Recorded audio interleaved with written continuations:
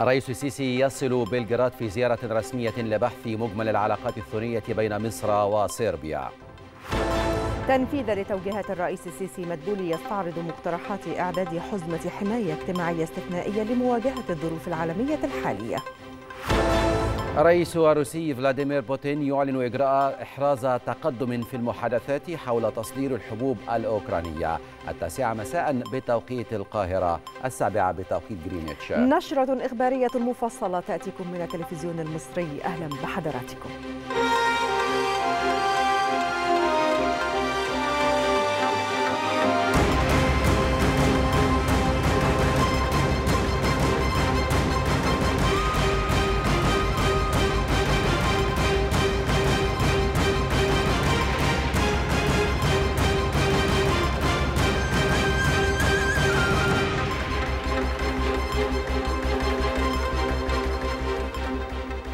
وصل الرئيس عبد الفتاح السيسي إلى العاصمة الصربية بلغراد حيث استقبله الرئيس الصربي ألكسندر فوتشيتش بمطار العاصمة. وكان الرئيس السيسي قد اختتم زيارته إلى ألمانيا متوجها إلى بلغراد في زيارة ثنائية رسمية الأولى من نوعها وذلك في إطار العلاقات التاريخية بين البلدين.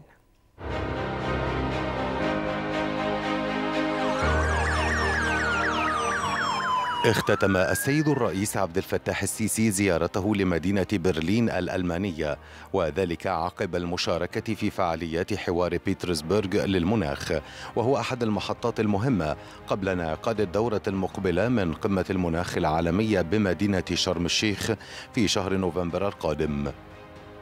كما عقد السيد الرئيس عبد الفتاح السيسي عدة لقاءات مع عدد من المسؤولين الألمان وعلى رأسهم رئيس ألمانيا الاتحادية فرانك فالتر شتاينماير والمستشار الألماني أولاف شولتز.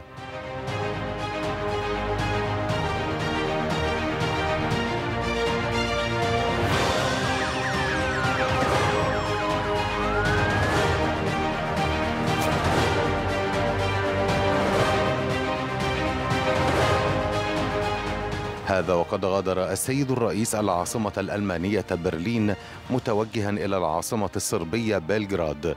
وكان في وداع سيادته كبار رجال الدولة الألمان وأعضاء السفارة المصرية في برلين.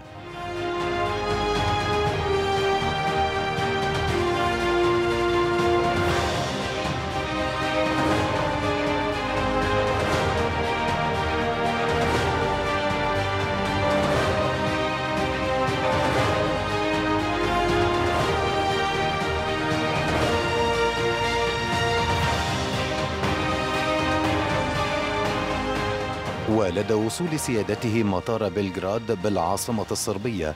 كان في استقبال سيادته الرئيس الصربي ألكسندر فوتشيتش وكبار رجال الدولة في صربيا وأعضاء السفارة المصرية في بلغراد. وستشهد الزيارة عقد مباحثات مكثفة مع الرئيس الصربي ألكسندر فوتشيتش وذلك لبحث آليات تعزيز العلاقات السياسية والاقتصادية بين الجانبين فضلا عن النظر في سبل التعاون والتنسيق على الصعيدين الدولي والإقليمي. أعلن المتحدث باسم رئاسة الجمهورية أن مقاتلات صربية رافقت شرفيا طائرة الرئيس عبد الفتاح السيسي ترحيبا بالرئيس منذ دخول المجال الجوي الصربي وحتى الهبوط في مطار بلغراد.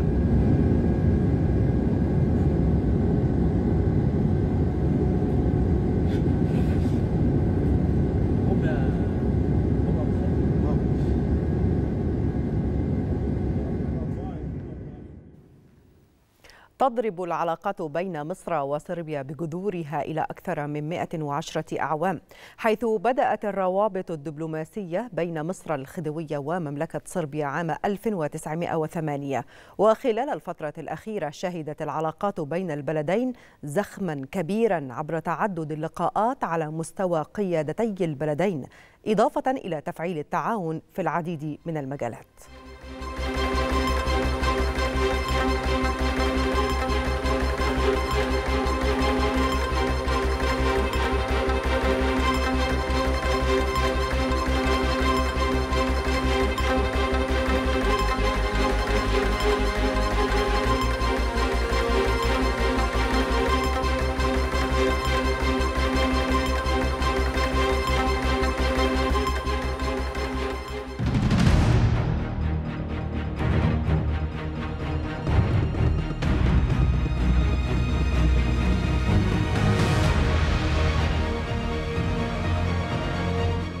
قلت للمستشار شولتز استعداد مصر تام لوضع أسس لشراكة قوية مع ألمانيا في مجال الطاقة بأنواعها سواء من خلال تصدير الغاز الطبيعي إلى ألمانيا والاتحاد الأوروبي أو من خلال إقامة شراكة ممتدة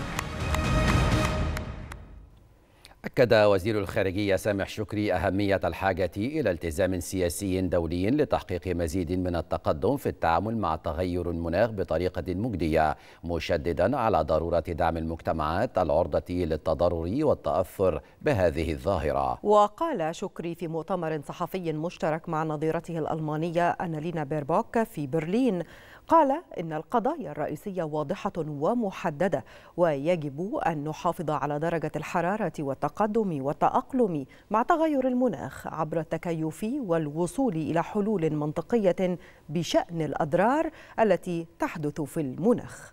يجب أن نحافظ على درجة الحرارة والتقدم والتأقلم مع تغير المناخ عبر التكيف مع تغير المناخ والوصول إلى حلول منطقية بشأن الأضرار التي تحدث في المناخ وأن يكون هناك الدعم اللازم للمجتمعات العرضة للتضرر والقابلة للتأثر بهذه الظاهرة والأخذ في الاعتبار الجوانب الاجتماعية والاقتصادية لهذا التحول كما أشرنا من قبل لأكثر من مرة يجب أن نبدأ التنفيذ فورا ونحقق تقدم كبير في هذه القضايا قالت وزيرة الخارجية الألمانية أنالينا بيربوك قالت إن قضية التغير المناخي لا تعتمد على تقديم المزيد من التمويل المالي ولكن تحتاج إلى تحقيق التعادل المناخي. وأضافت وزيرة الخارجية الألمانية خلال مؤتمر صحفي مشترك في العاصمة الألمانية برلين أن الأموال وحدها غير كافية للحفاظ على الحياة والزراعة وكافة مظاهر الحياة. نستطيع أن نقدم تعويضات مالية أو موارد مالية أكثر في مقابل التنازل عن الأهداف التي حددناها مسبقا بالوصول إلى درجة اعتدال مناخي جيدة. لكن الأموال وحدها ليست كافية وغير كافية للحفاظ على المساكن على سبيل المثال الحفاظ على الحياة وللحفاظ على الزراعة وللحفاظ على كافة مظاهر الحياة. وبالتالي فإن تغيير الناس مساكنهم أو الانتقال إلى مدن أخرى بفعل التأثيرات المناخية السيئة سيئة لن يستطيع الموارد المالية وحدها أن تكفي بهذا الغرض. تكليف إدارة المؤتمر الوطني للشباب بالتنسيق مع كافة التيارات السياسية الحزبية والشبابية لإدارة حوار سياسي حول أولويات العمل الوطني خلال المرحلة الراهنة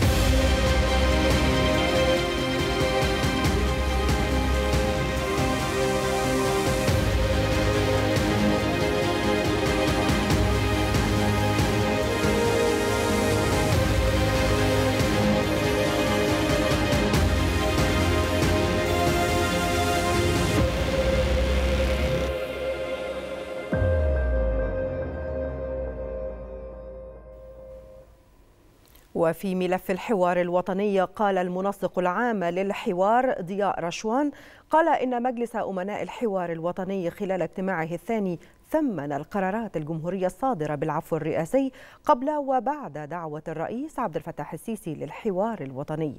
موصين باستمرار إصدار العفو الرئاسي عن كل عن كل من لم يقترف جرائم مرتبطة بالعنف وبالدماء أو بالتحريض عليها. وأضاف المنسق العام للحوار الوطني أنه تم الاتفاق على تركيز المناقشات على ثلاثة محاور هي المحور السياسي والاجتماعي والاقتصادي. اللجنة ثمنت هذه الإجراءات وناشدت وتأمل أن يستكمل السيد رئيس الجمهورية قراراته بالعفو الرئاسي عمن لم يقترف دما ولم يشارك ولم يحرض ولم يخرب وده يعني كان بإجماع آراء أعضاء المجلس الأمناء.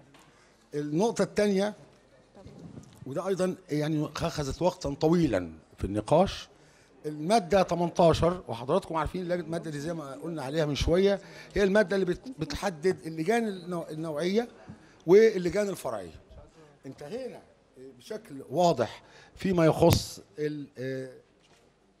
فيما يخص هذه المادة استقر رأي مجلس الأمناء وبالإجماع أيضا على أن تظل المحاور الثلاثة المحور السياسي والمحور الاقتصادي والمحور الاجتماعي هي المحاور التي سيجري النقاش حولها وسيجري أيضا تقسيم اللجان الفرعية التي ستمارس أعمالها في ظل هذه العناوين الثلاثة. وأضاف ضياء رشوان المنسق العام للحوار الوطني أن مجلس أمناء الحوار الوطني قرر مناقشة ثلاث قضايا رئيسية داخل المحور السياسي هي مباشرة الحقوق السياسية والمحليات والحقوق وحقوق الإنسان والحريات العامة. كما أشار رشوان إلى تشكيل لجنة لكل من المحور الاقتصادي والاجتماعي لكي تقترح كل منها أهم ما سيتم مناقشته داخل كل محور. هناك ثلاثة قضايا فرعية داخل المحور السياسي سيجري التعامل معها من خلال لجان فرعية. القضية الأولى مباشرة الحقوق السياسية والتمثيل النيابي والأحزاب السياسية. القضية الثانية المحليات. القضية الثالثة حقوق الإنسان والحريات العامة. وفي هذا السياق استعرض أيضا مجلس الأمناء أن هناك بعض من التشريعات في القضايا دي كلها قد يستلزم أثناء الحوار في اللجان الفرعية أن يتم تعديلها أو إضافتها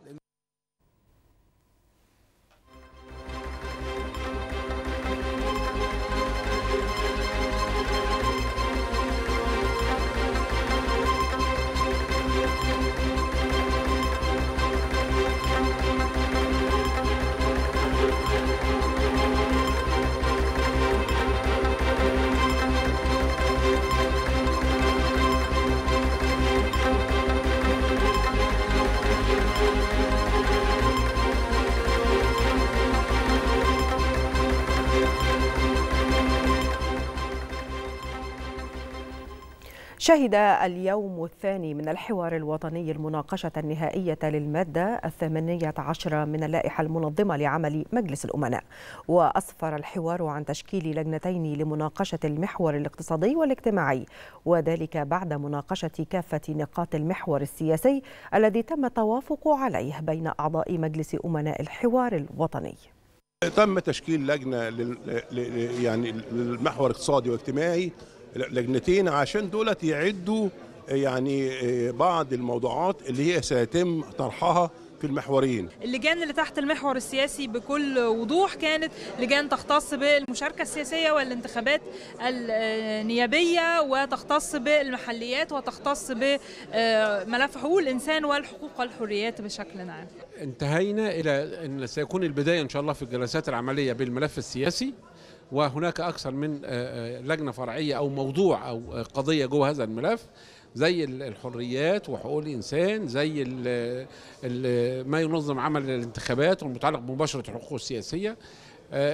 طبعا ده ملف مهم جدا وملف ربما البعض بيعتبره هو مفتاح لبقية المحاور والملفات.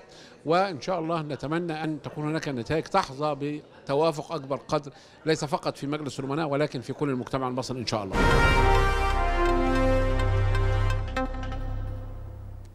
بعث رئيس مجلس الشيوخ المستشار عبد الوهاب عبد الرازق برقية تهنئة للرئيس عبد الفتاح السيسي بمناسبة الذكرى السبعين لثورة الثالث والعشرين من يوليو. وأعرب رئيس الشيوخ في برقيته عن خالص التهنئة القلبية بمناسبة ذكرى ثورة يوليو التي ألهمت جميع حركات التحرر في العالم والشعوب المتطلعة للحرية. وأكد المستشار عبد الوهاب أن ذكرى ثورة يوليو ستبقى حية في وجدان كل الأجيال تذكرنا بأن مصر قد ملكت إرادتها وأبرزت أصالة الشعب المصري الذي عاش لا يقبل المساس بوطنه وبديمقراطيته. هنأ رئيس مجلس الوزراء الرئيس عبد الفتاح السيسي بمناسبة حلول الذكرى السبعين لثورة الثالث والعشرين من يوليو المجيدة وأكد مدبولي في برقيته أن هذه المناسبة ستظل دائما حاضرة في وجدان الشعب المصري بما حققته من إنجازات عظيمة لإرساء مبادئ العدالة والمساواة والحرية وما أحدثته من تغيير في المنطقة العربية والإفريقية وفي دول العالم الثالث دفاعا عن حرية الشعوب وحقها في حياة حرة كريمة.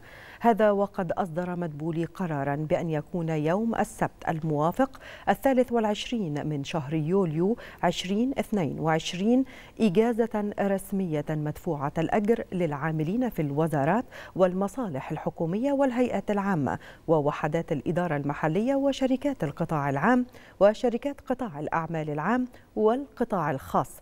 وذلك بمناسبة ذكرى عيد ثورة الثالث والعشرين من يوليو. عقد رئيس مجلس الوزراء مصطفى مدبولي اجتماعا لمتابعة الموقف التنفيذي لمشروعات المبادرة الرئاسية حياة كريمة لتطوير قرى الريف المصري. واستعرض الاجتماع سير العمل بمختلف مشروعات المرحلة الأولى من مبادرة حياة كريمة والتي تشمل 1477 قرية بما في ذلك المشروعات التي تم الانتهاء منها والجاري العمل بها في ضوء البرنامج الزمني المستهدف. كما بحث الاجتماع عددا من التحديات المتعلقة ببعض المشروعات التي يتم تنفيذها ضمن المبادرة الرئاسية والاحتياجات المطلوبة لاستكمال التنفيذ وفق المخطط. استعرض رئيس مجلس الوزراء مصطفى مدبولي المقترحات الخاصة بإعداد حزمة حماية اجتماعية استثنائية تنفيذا لتوجيهات الرئيس عبد الفتاح السيسي وذلك خلال اجتماع بحضور عدد من الوزراء والمسؤولين. وأوضح رئيس الوزراء أن الاجتماع يستهدف مراجعة الإجراءات والخطوات التي يتم اتخاذها في إطار تنفيذ التوجيهات الرئاسية الخاصة بدراسة إعداد حزمة حماية اجتماعية استثنائية. يأتي ذلك في ضوء جهود الدولة للتعامل مع الظروف العالمية الحالية وللتخفيف من حدتها وانعكاساتها على المواطنين والأسر المستهدفة من تطبيق هذه البرامج. ونوه رئيس الوزراء إلى أهمية سرعة الانتهاء من التصور المتكامل للحزمة الاستثنائية تمهيدا لعرضها على الرئيس السيسي.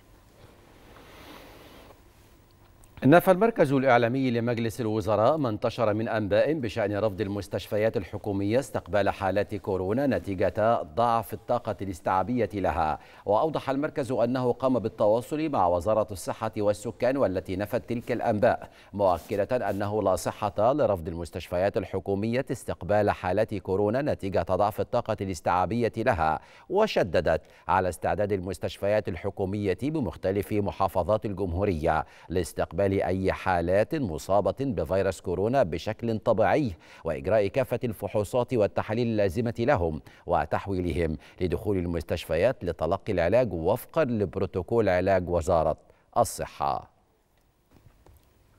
أعلن المتحدث العسكري عن عودة بعثة الحج للقوات المسلحة من الأراضي المقدسة إلى أرض الوطن بعد أداء مناسك الحج من جهتهم. قدم الحجاج الشكر والامتنان للقيادة العامة للقوات المسلحة على الاهتمام الكبير والرعاية المستمرة التي توليها لأبنائها. لبيك لا شريك لك. لبيك إن الحمد لك والفضل لك والملك. دعوات صادقة من القلب من حجاج بيت الله الحرام. ما خاب عبد قد أن يتقبل الله عز وجل منهم صالح الأعمال. فأشرقت الوجوه وامتلأت بالرضا. والنور.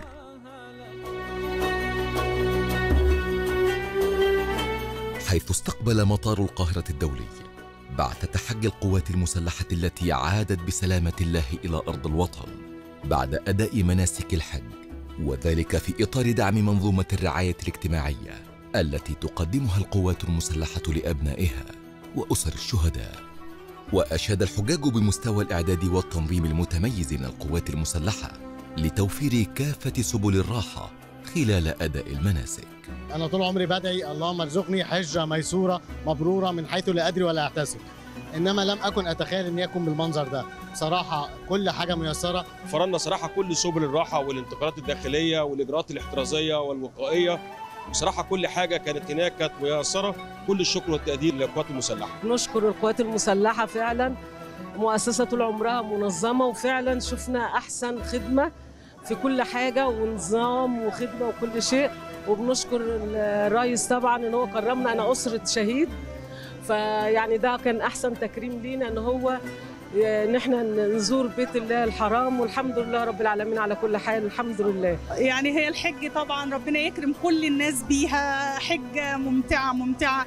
والشؤون المعنوية كانت فوق الوصف بصراحة. الناس ما ما كانش في إيدها أكتر من كده. الناس عملت كل حاجة ربنا يبارك فيهم. الحمد لله السلطات السعودية كانت الحمد لله برضو في غاية الاحترام معانا. البعثات القوات المسلحة طول عمرها متميزة. من لحظة ما دخلنا المطار هنا لحظة ما رجعنا تاني لأرض مصر الحمد لله. رحلة جميلة وأنا بشكر كل المسؤولين بصراحة. والله العظيم وعدتوا وأوفيتوا كتر ألف خيركم بصراحة. ما هملوناش خالص والله.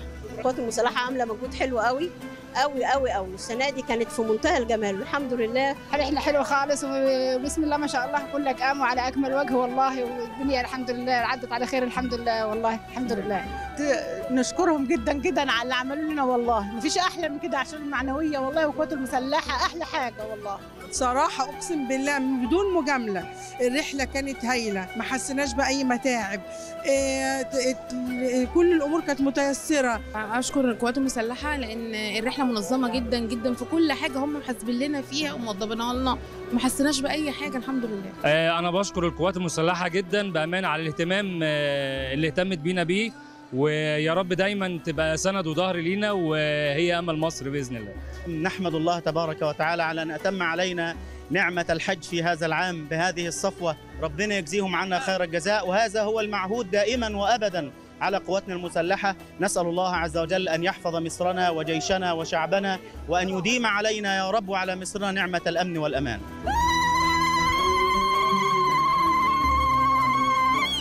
هذا وتهنئ القوات المسلحة حجاج بيت الله الحرام على إتمام مناسك الحج لهذا العام.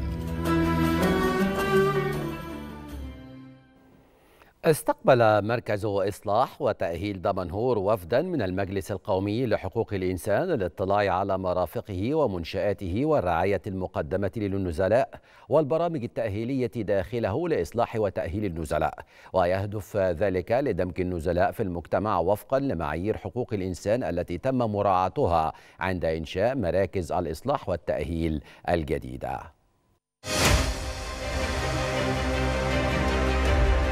شهدت مراكز الإصلاح والتأهيل طفرة كبيرة على المستويين الإنشائي والتأهيلي للنزلاء. لتتماشى مع سياسة الدولة نحو التطوير وتوفير سبل الرعاية التي أقرتها الاستراتيجية الوطنية لحقوق الإنسان.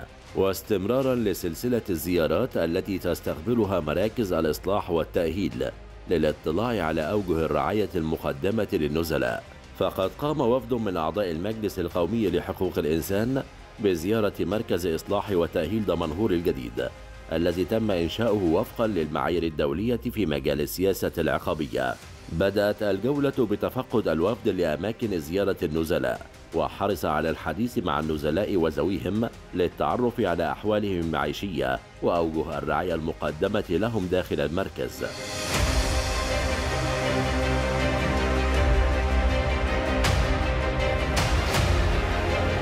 وفي المركز الطبي المتطور تجول وفد المجلس القومي لحقوق الإنسان داخل العيادات الطبية المجهزة بكافة التقنيات الحديثة التي توفر للنزلاء رعاية طبية متكاملة في كافة التخصصات. فلسفة الإصلاح والتأهيل الجديدة اللي بتتبعها وزارة الداخلية فيها طفرة نوعية من حيث الإمكانيات اللي موجودة في مراكز الإصلاح والتأهيل الجديدة. زائد السياسة نفسها من حيث تدريب العنصر البشري والاهتمام بالنزلاء في إنه يتم تأهيلهم وتدريبهم وتقديم الخدمات الرعاية الصحية.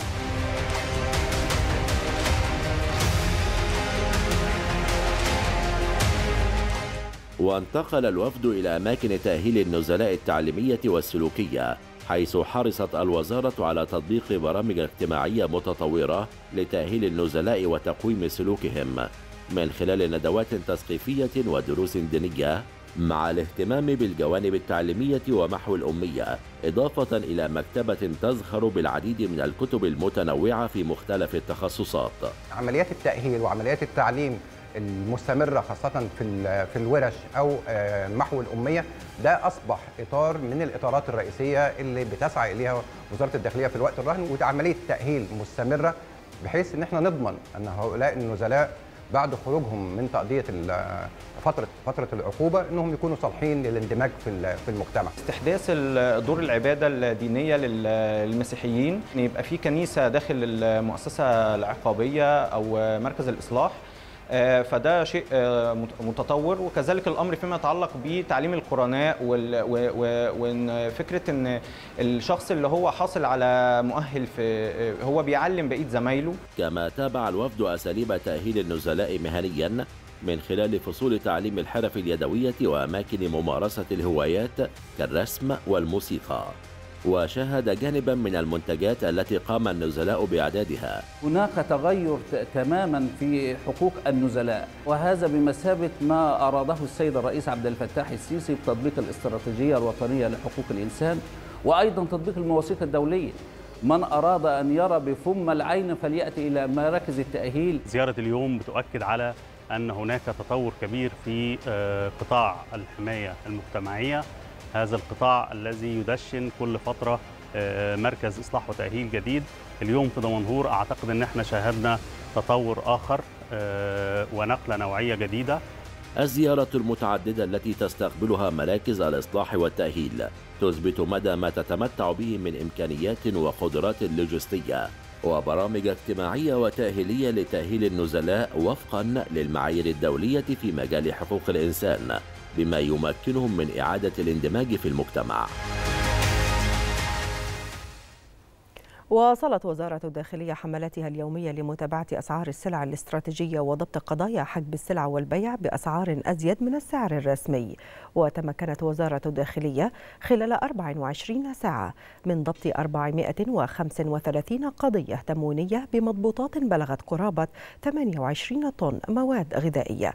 وتم ضبط سبعة أطنان في مجال الاستيلاء على السلع المدعومة. كما تم ضبط 21 طن في مجال عدم الإعلان عن الأسعار بقصد البيع بأزيد من السعر الرسمي للسلع الغذائية. وفي مجال قضايا المخابز تم ضبط 615 قضية من بينها 146 قضية خبز ناقص الوزن و126 قضية خبز غير مطابق للمواصفات. وفي مجال ضبط مخالفات التلاعب بمنظومة توريد وتداول القمح المحلي تم ضبط قضيتين بمضبوطات بلغت قرابة عشرة أطنان أقماح محلية.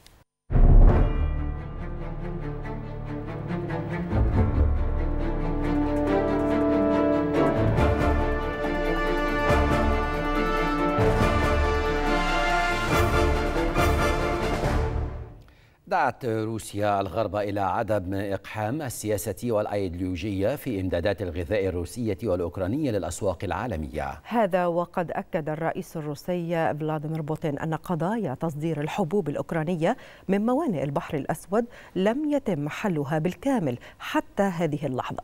لافتا إلى أن التحرك في هذا الاتجاه أمر إيجابي بحد ذاته. واتهمت موسكو الغرب بمحاولة ترهيب المواطنين بالجوع وبتسييس هذه القضية مشددة على أن روسيا تعتبر احتمال إرسال أسلحة غربية إلى كييف عن طريق السفن إلى التي تصدر الحبوب عبر البحر الأسود أمرا غير مقبول.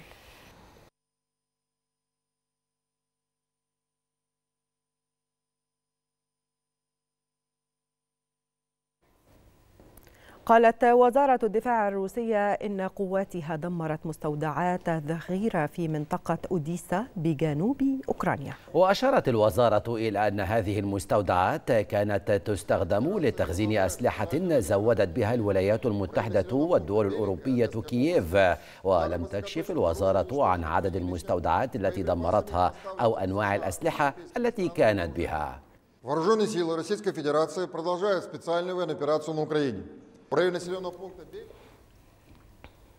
قال وزير الخارجية الأمريكي أنتوني بلينكين إن المعلومات التي جمعتها الاستخبارات الأمريكية عن العملية العسكرية الروسية في أوكرانيا كانت عملا رئيسيا في بناء الدعم لكييف قبل بدء العملية. وأضاف بلينكين أن قدرة الأجهزة الأمريكية على الوصول إلى كم من غير مسبوق من المعلومات وكشفها أحدث فارقا في بناء تحالف والانطلاق مع العالم منذ اليوم الأول للعملية.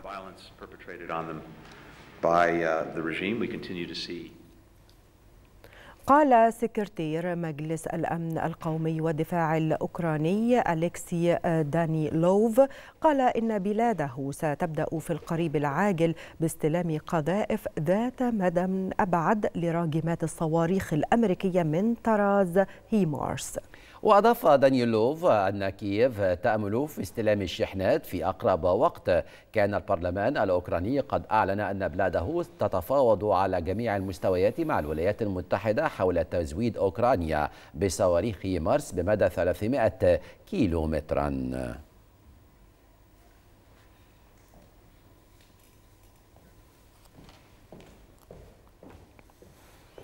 قالت المخابرات العسكرية البريطانية إن روسيا تجد صعوبة في الحفاظ على قوة قتالية هجومية فعالة. منذ بدء عملياتها العسكرية. ومن المرجح أن تتفاقم المشكلة بشكل متزايد. وأوضحت المخابرات البريطانية أنه بالإضافة إلى مواجهة نقص حاد في الأفراد يواجه المخططون الروس معضلة بين نشر قوات الاحتياط في دونباس أو بالدفاع في ظل الهجمات المضادة الأوكرانية في قطاع خيرسون الجنوبي الغربي.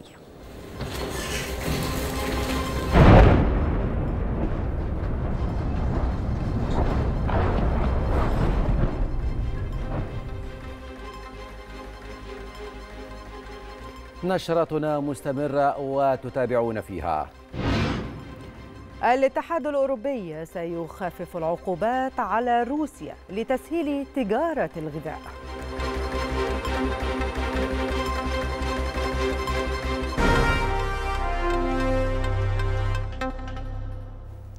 قالت وكالة رويترز إن الاتحاد الأوروبي يتجه نحو تخفيف العقوبات على بنوك روسيا لتسهيل تجارة الغذاء.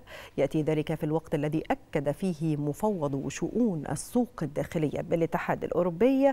أكد أن الاتحاد أصبح حاليا يعاني من نقص في أنواع مختلفة من الأسلحة والذخيرة والمعدات العسكرية بسبب الإمدادات لأوكرانيا.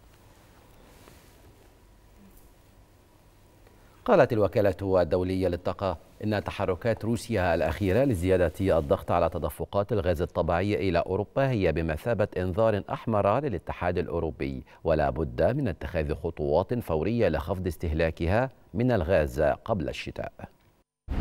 تداعيات العملية العسكرية الروسية على أوكرانيا والتي تمثلت في أزمات غذاء وطاقة في المقام الأول ما زالت تؤثر على توصيات كبريات المؤسسات الاقتصادية في العالم. الوكالة الدولية للطاقة دعت الدول الأوروبية إلى اتخاذ خطوات فورية لخفض استهلاكها من الغاز قبل الشتاء المقبل وإلى وضع حد لاستخدام مكيفات الهواء والبدء في بيع الغاز للصناعات من خلال المزادات وإلا فقد تضطر إلى ترشيد استخدام الغاز في أكثر الشهور برودة. الوكالة الدولية للطاقة أشارت إلى أن تحركات روسيا الأخيرة لزيادة الضغط على تدفقات الغاز الطبيعي إلى أوروبا فضلا عن غيرها من الاضطرابات الأخيرة في الإمدادات هي بمثابة إنذار أحمر للاتحاد الأوروبي.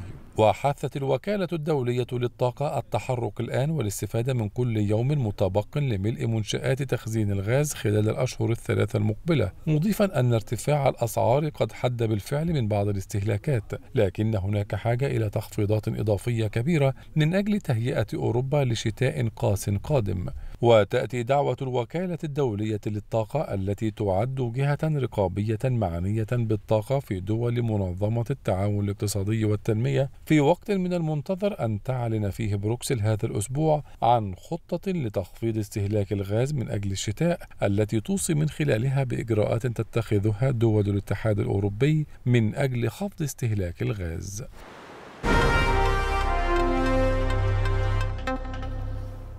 فاز وزير المالية البريطاني السابق ريشي سوناك بالجولة الرابعة من التصويت في إطار السباق لخلافة رئيس الوزراء بوريس جونسون في زعامة حزب المحافظين تمهيدا لتولي منصب رئاسة الوزراء. حصل سوناك على 118 صوتا وبيني موردنت على 92 صوتا وليز تراس على 86 صوتا وكيمي بادنوك على 59 صوتا. لتخرج خرج بذلك من سباق رئاسة حزب المحافظين.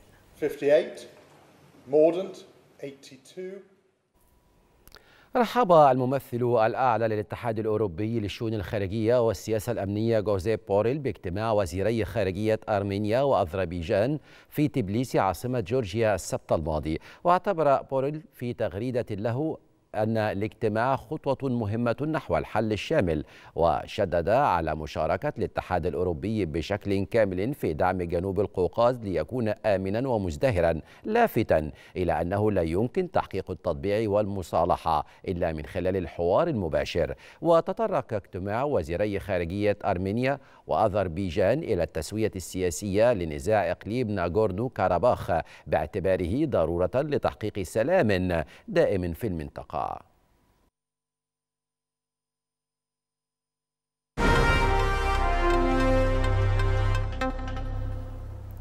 أعلنت خلية الإعلام الأمني العراقية عن انطلاق المرحلة الرابعة من عملية الإرادة الصلبة في جبال قرقوخ لملاحقة بقايا تنظيم داعش الإرهابي. وذكرت الخلية أنه وفقا لمعلومات استخباراتية دقيقة وبعمل أمني مشترك انطلقت العملية بمشاركة الفرقتين الرابعة عشرة والسادسة عشرة وقوات البشمركة وقوات من جهاز مكافحة الإرهاب وبإسناد من طيران القوة الجوية وطيران الجيش العراقي. مشيرة إلى أن هذه العملية لدحر الإرهاب والجريمة بمختلف صورها. أعلنت القوات اليمنية المشتركة عن إسقاط طائرة مسيرة تابعة لقوات الحوثي أثناء تحليقها بمديرية حيس جنوبي محافظة الحديدة غربي اليمن. وذكرت القوات اليمنية المشتركة أن الجهات المختصة انتشلت حطاما مسيرة بعد إسقاطها.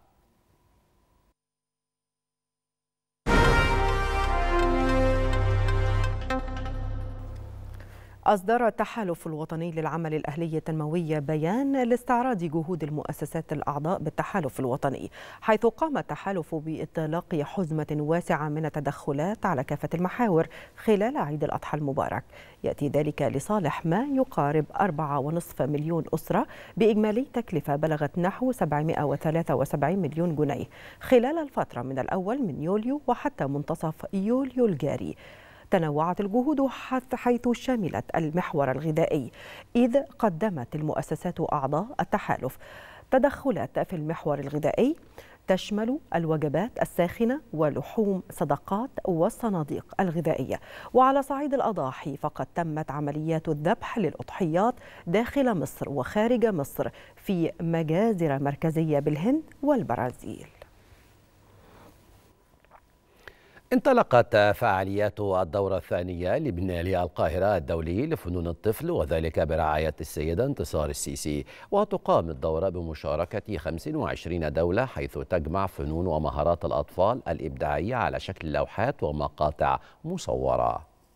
تحت شعار صورة من بلدي وبمشاركة 25 دولة وبرعاية السيدة انتصار السيسي انطلقت فعاليات الدورة الثانية لبنال القاهرة الدولي لفنون الطفل الذي يجمع فنون ومهارات الأطفال الإبداعية على شكل لوحات ومقاطع مصورة. إحنا سعداء جدا بافتتاح الدورة الثانية لبنال الطفل.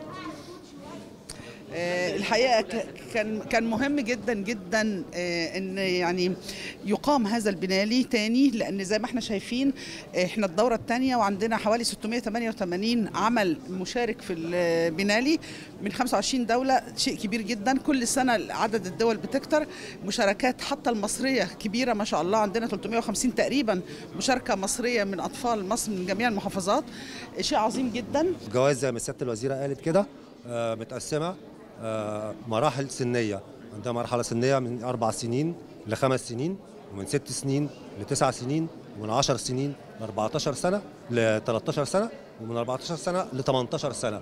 وكل مرحلة سنية لها ثلاث جوائز غير شهادات التقدير غير وكمان عندنا عندنا جزء مهم جدا اللي هو ذوي الهمم. يشارك في المعرض ما يقرب من 700 طفل تحت 18 عاما ومن 25 دولة مقسمين إلى خمس فئات ومن ضمنهم ذوي القدرات الخاصة الذين تركوا انطباعا مميزا لدى الحضور ويستمر المعرض لمدة شهر كامل. شاركت بلوحتي هي عن ال still life وهي بتتكلم عن الحياة القديمة وإن هي مجرد من مجرد عناصر هي ممكن تعمل حياة. هي مجرد عناصر ممكن ما تكونش كلها ليها علاقة ببعض لكن هي بتعمل حياة. ما هو المشروع الأول كان مصر ما بين الماضي والحاضر. فكان ليها لوحتين. في اللوحة الأولانية موجودة هنا وعبرت عن ال- الحاضر عن حدث الموكب العظيم اللي هو حصل تقريبا في شهر ثلاثة فحبيت أعبر عنه إن هو الحدث الأبرز. اللوحة دمجت فيها كل العصور اللي كانت على مصر. يعني مثلا العصر البطلمي العصر القبطي العصر الإسلامي والعصر اللي هو دلوقتي ده.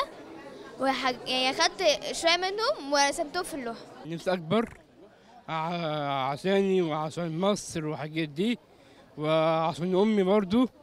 وعشان أعمل كل حاجة. سيحصل الفائزون في المعرض على شهادات وجوائز تقديرية بعد تقييمات متنوعة بناء على معايير فنية خاصة بالفنون التشكيلية. ويأتي المعرض وسط إجراءات احترازية بعد أن توقف عام 2021 بسبب تداعيات فيروس كورونا. كريم بيبرس التلفزيون المصري.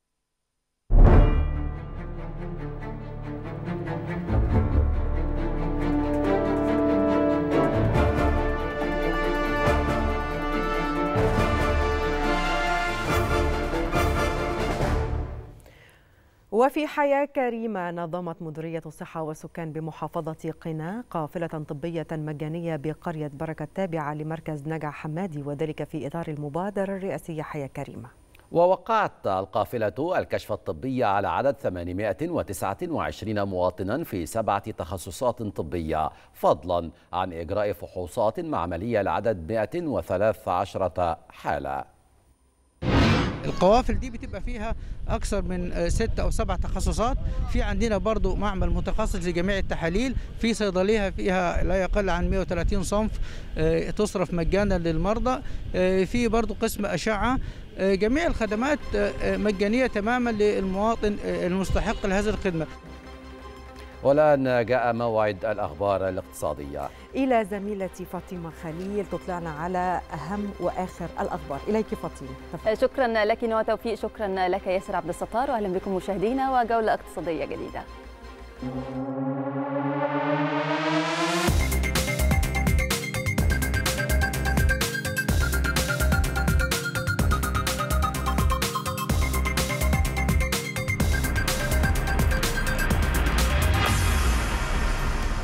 عقد رئيس مجلس الوزراء مصطفى مدبولي اجتماعا لمتابعة تنفيذ تكليفات الرئيس عبد الفتاح السيسي بإنشاء 200 ألف وحدة سكنية بالقاهرة الكبرى ضمن المبادرة الرئاسية سكن لكل المصريين وفي إطار خطة الدولة لتطوير المناطق غير الآمنة. أشار مدبولي إلى تكليفات الرئيس عبد الفتاح السيسي بالبدء في بناء 200 ألف وحدة سكنية بالقاهرة الكبرى. وفي ضوء ذلك وجه بح- بحصر كل الأراضي المملوكة لجهات الدولة داخل القاهرة حتى يتم البدء في البناء عليها فضلا عن البدء في الإخلاء للمناطق غير المخططة. هذا وأشار رئيس الوزراء في هذا السياق إلى نجاح الدولة المصرية في القضاء على المناطق غير الآمنة وتسكين أهالينا في مناطق سكنية حضرية مخططة ولائقة مضيفا أننا سنستمر وفقا لتوجيهات الرئيس عبد الفتاح السيسي في تطوير المناطق غير المخططة.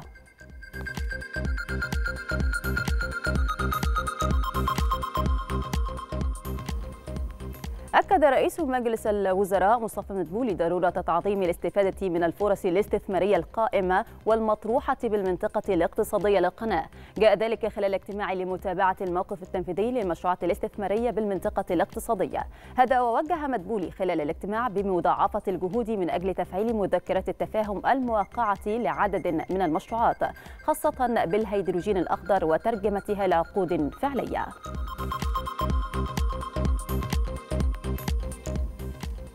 سلط مركز المعلومات ودعم اتخاذ القرار بمجلس الوزراء الضوء على ارتفاع إيرادات قناة السويس بنسبة 20.7% خلال عام 2021-2022 لتسجل حوالي 7 مليارات دولار لتحقق بذلك أعلى عائد في تاريخها. وفي رسم توضيحي استعرض المركز الطفرة التي شهدتها قناة السويس من خلال زيادة عدد السفن العابرة للقناة بنسبة 15.7%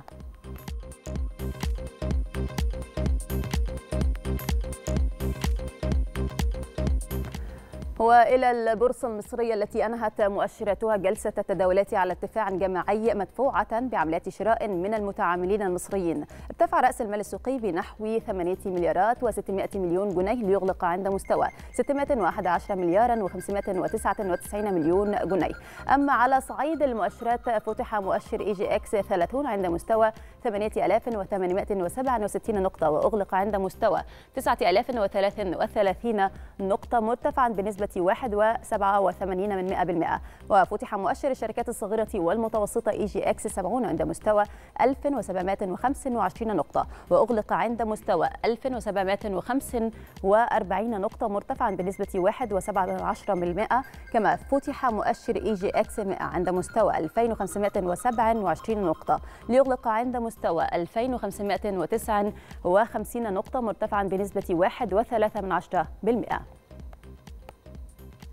إلى أسواق العملات حيث تباينت أسعار العملات أمام الجنيه المصري ليسجل الدولار الأمريكي نحو 18 جنيه و87 قرشا للشراء و18 جنيه و95 قرشا للبيع. بالنسبة للسعر اليورو وصل سعره إلى 19 جنيه و32 قرشا للشراء و19 جنيه و40 قرشا للبيع.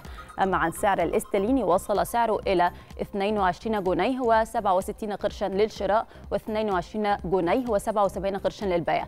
أما عن أسعار العملات العربية فوصل سعر الدرهم الإماراتية 5 جنيهات و13 قرشا للشراء و5 جنيهات و16 قرشا للبيع. أما عن سعر الريال السعودي فوصل سعره إلى 5 جنيهات وقرشين للشراء و5 جنيهات وأربعة قروش للبيع. في أسواق المعادن النفيسة استقرت أسعار الذهب العالمية مدعومة بتراجع الدولار ليسجل نحو 1708 دولارات للأوقية. محليا سجل عيار الذهب 18 نحو 840 جنيه. أما بالنسبة لسعر جرام الذهب عيار 21 وصل سعره إلى 980 جنيه وهو الأكثر مبيعا. أما بالنسبة لعيار الذهب 24 وصل سعره إلى 1120 جنيه. بالنسبة للسعر الجنيه الذهب وصل سعره إلى 7840 جنيه. واصلت الأسهم اليابانية مكاسبها وإن كان أداؤها متواضعا مع عزوف المستثمرين عن أي تحركات كبيرة قبيل اجتماع لجنة السياسات النقدية في بنك اليابان. وأنهى مؤشر نيكاي الجلسة بارتفاع بنسبة 65 من 100% صعد المؤشر توبكس الأوسع نطاقا 54 من 100% وكانت أسهم شركات الصناعات الثقيلة اليابانية ضمن الأفضل أداء مدعومة بتقرير في مطلع الأسبوع. ذكر أن حكومة رئيس الوزراء فوميو كيشيدا لن تحدد سقفا للإنفاق الدفاعي في ميزانية العام المقبل.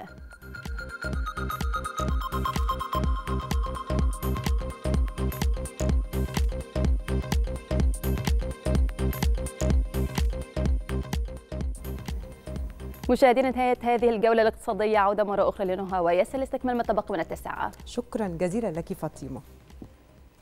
تخطت درجات الحرارة اليوم الثلاثاء في بريطانيا وللمرة الأولى عتبة الأربعين مسجلة أربعين واثنين من عشرة درجة في مطار هيثرو بحسب ما أعلنته وكالة الأرصاد الوطنية. وجاء المستوى الجديد بعد ساعة من تجاوز المملكة المتحدة للحرارة القياسية البالغة 38.7 درجة مئوية المسجلة في 2019 في كامبريدج بشرق بريطانيا حيث يأتي الارتفاع الجديد وسط موجة حر تجتاح شمال غرب أوروبا.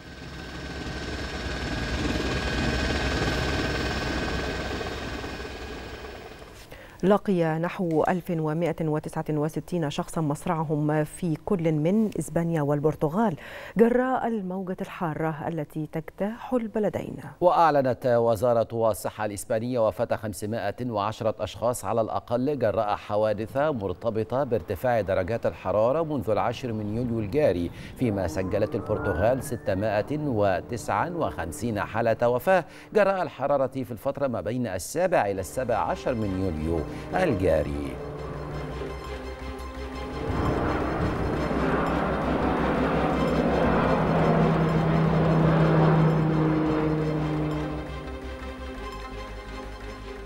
موعد الأخبار الرياضية. منافسة الرياضة أيضا مع فاطمة. تفضل.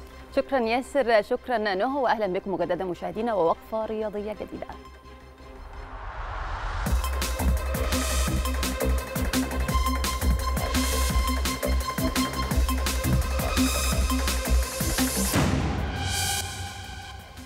توج المنتخب الوطني لكرة اليد ببطولة كأس الأمم الأفريقية بعد فوزه الكبير على منتخب الرأس الأخضر بنتيجة 37-25 بهذا التتويج رفع المنتخب الوطني رصيده من الألقاب إلى ثمانية بفارق لقبين عن نظيره التونسي صاحب الرقم القياسي. تحية كبيرة للمنتخب المصري! بأداء مبهر توج المنتخب الوطني لكرة اليد بلقب بطولة أفريقيا للمرة الثانية على التوالي والثامنة في تاريخه. واستطاع منتخب الفراعنة لكرة اليد تحقيق فوز كاسح بفارق 12 نقطة على منتخب الرأس الأخضر بنتيجة 37-25 في المباراة النهائية التي استضافتها صالة حسن مصطفى بمدينة السادس من أكتوبر بحضور رئيس مجلس الوزراء مصطفى مدبولي. تسيد منتخب مصر اللقاء بشكل كامل حيث أنهى شوط المباراة الأول بتقدم كبير بفارق 12 نقطة. ومع انتصاف الشوط الثاني من المباراة واصل الفراعنة تقدمهم في النتيجة 31-17 وقبل انتهاء المباراة بخمس دقائق واصل المنتخب الوطني ابتعاده بالنتيجة عن الرأس الأخضر بنتيجة 36-23 ثم في نهاية المباراة حاول منتخب الرأس الأخضر تقليص النتيجة ولكن دون جدوى لتنتهي المباراة بفوز كاسح لمصر 37-25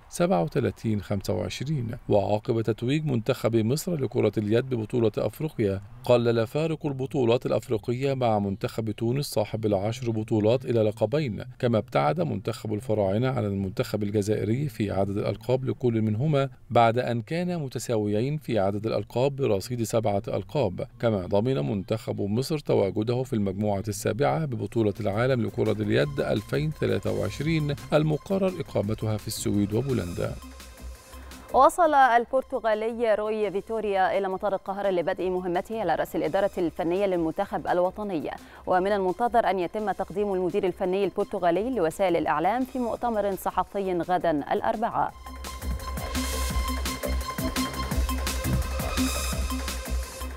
فاز مانشستر يونايتد على كريستال بالاس بثلاثة أهداف مقابل هدف في مباراة ودية بمدينة ملبورن الأسترالية استعدادا للموسم الجديد. بهذه النتيجة واصل مانشستر يونايتد انتصاراته الودية مع مدربه الجديد إريك تين هاج حين حقق فوزه الثالث على التوالي في فترة الإعداد.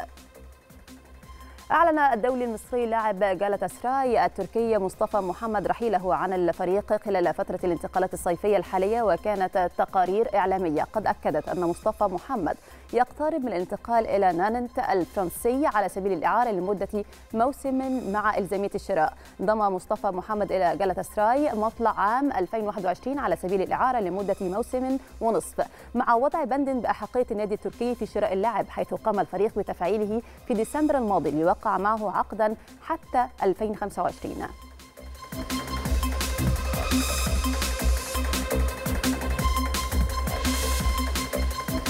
أعلن نادي ريال سوسيداد الإسباني عن تعاقده مع الياباني تاكيفوسا كوبو قادما من ريال مدريد في سوق الانتقالات الصيفية. ووقع كوبو على عقد مع ريال سوسيداد لمدة خمسة مواسم لينهي اللاعب الياباني فترة ثلاث سنوات قضاها في ريال مدريد منذ انضمامه إليه مجانا قادما من اف اس طوكيو عام 2019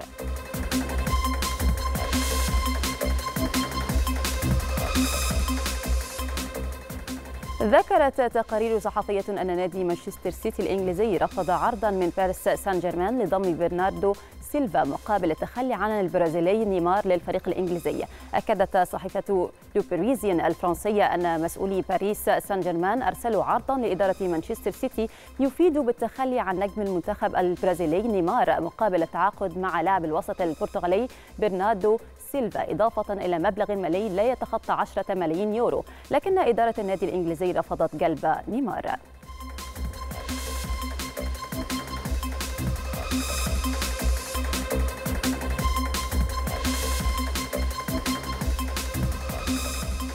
مشاهدينا عودة مرة أخرى لزملاء لاستكمال ما تبقى من التاسعة. شكرا جزيلا لك فاطمة سنعود إليك بعد قليل.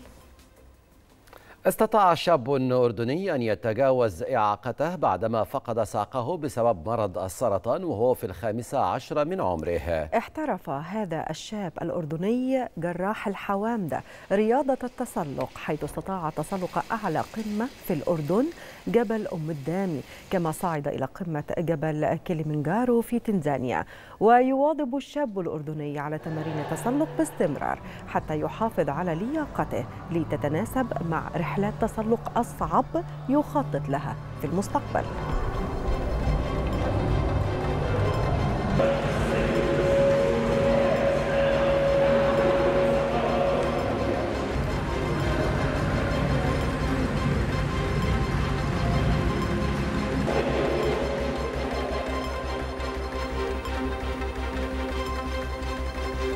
والآن إلى الأحوال الجوية والطقس. مع الزميلة مرة أخرى والأخيرة فاطمة خليل. شكرا ياسر شكرا نهى وأهلا بكم مجددا وأخيرا مشاهدينا وقفة أخيرة مع أحوال الطقس.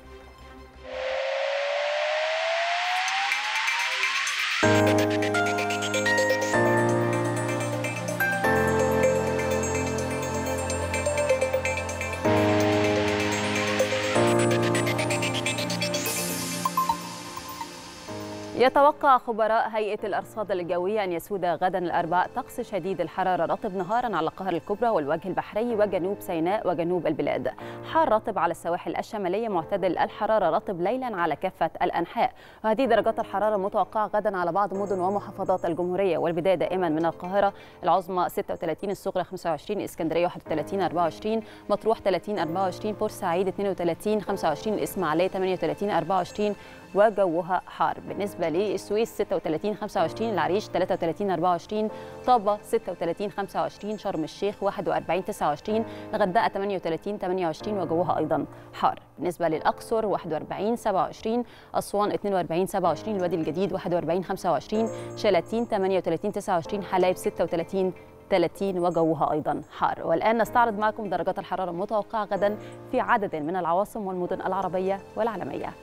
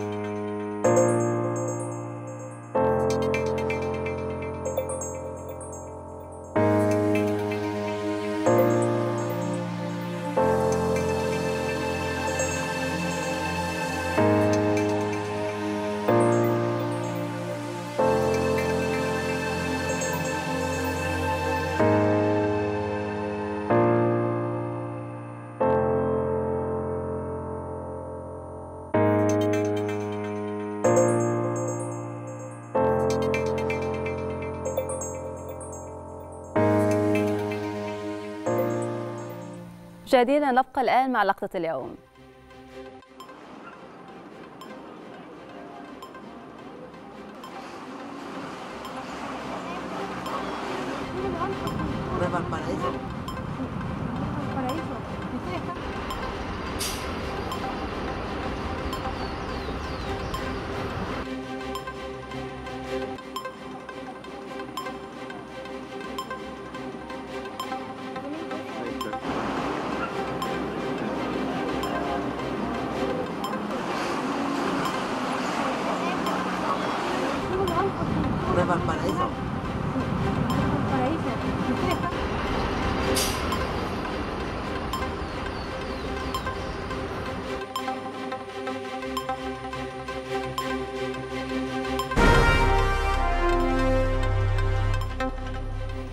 انتهت نشرة الأخبار وإليكم أهم ما جاء فيها.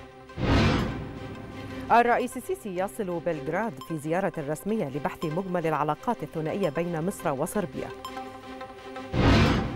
تنفيذا لتوجيهات الرئيس السيسي مدبول يستعرض مقترحات إعداد حزمة حماية اجتماعية استثنائية لمواجهة الظروف العالمية الحالية.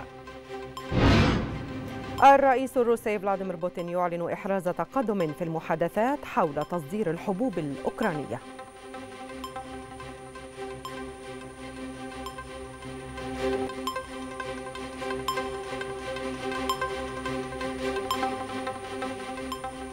نهاية نشرتنا لكن هواء التاسعة مستمرة مع حضراتكم مع الإعلامية شفكي المنيري. مساء الخير عليك شفكي. مساء الخير يا نهى مساء الخير يا ياسر. دايما أنا بطمن زي المشاهدين لما نسمع الأخبار تأتي من التاسعة من التلفزيون المصري. بتمنى لكم دايما التوفيق. شكرا لك نتمنى لك التوفيق في حلقة جديدة النهاردة. إن شاء الله فيها كل آه يعني موضوعات مهمة وثرية دايما بتبقى معاكي. شكرا ليكي وبالتوفيق. بشكركم وأتمنى لكم دايما كل التألق لكل صناع نشرة التاسعة بالتلفزيون المصري. أهلا بكم. مشاهدينا الكرام تفضلوا معنا نبدأ التاسعة لهذا اليوم. تفضلوا.